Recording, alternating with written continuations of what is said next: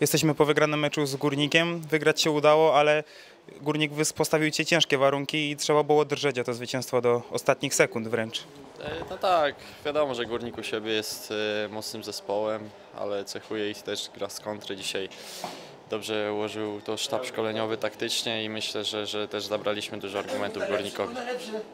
W pierwszej połowie miałem wrażenie, że Górnik raczej starał się grać piłką. Wy byliście nastawieni bardziej na kąty. To wynik, wynikło jakby z samej gry?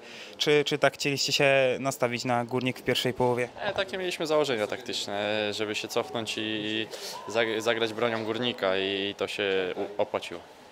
Wspomniałeś o tym, że Górnik gra bardzo dobrze u siebie. O tym przekonaliście się w pierwszym meczu e, rundy wiosennej. Siedziała Was taka żądza rewanżu za tamto spotkanie? Na pewno tak, na pewno zawsze kiedy przegrywa się mecz e, z jakimś zespołem chce się, chce się szybko zrewanżować, no i, i nam to się dzisiaj udało. Opowiedz jeszcze o tej sytuacji w pierwszej połowie, bo mogłeś tam strzelić po wrzutce z prawej strony. E, Zabrakło szczęścia? Chudy dobrze interweniował? Czy mogłeś coś zrobić lepiej? Jak Ty to widzisz? Znaczy uderzyłem w środek bramki, troszeczkę zaskoczyłem, zaskoczył mnie stoper Górnika, bo, bo nie przeciął tej piłki, a z mojej perspektywy wydawało mi się, że to zrobi. No i myślę, że mogłem lepiej to uderzyć, no ale koniec końców wygraliśmy i to się liczy.